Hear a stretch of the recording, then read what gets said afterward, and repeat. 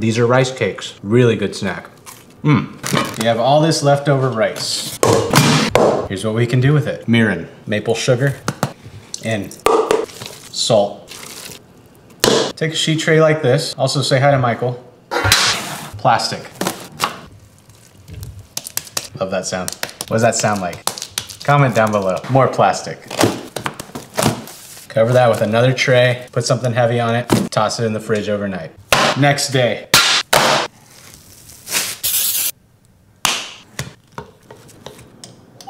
Rice oil, rice cake. Some soy powder. Some duck confit, why not? Togarashi. Mmm, delicious.